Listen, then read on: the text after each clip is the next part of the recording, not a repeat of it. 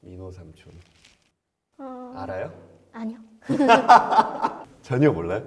전혀 몰라요. TV 잘 안 보, 안 보나? 아니요. 많이 봐요? 많이 보는 이제 앞으로 많이 나올 거예요. 그럼 봐줘요. 네.